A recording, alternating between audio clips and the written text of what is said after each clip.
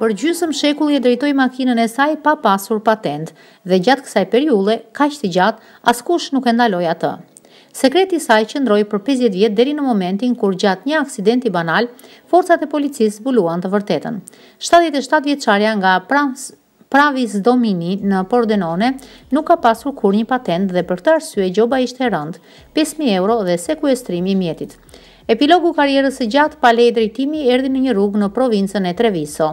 Gjyshja po drejtonte një makinë dhe po qëndronte në trafik papritur një tjetër mjet vjen nga pas dhe e godet dhe makina e shtatëdhjetë e shtatë vjeçares prek atë që kishte para.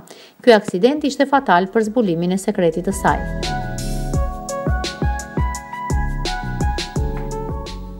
Agjentët e policisë lokale në vendngjarje i kërkuan të moshuarës patentën, por ajo u justifikua se e kishte harruar në shtëpi.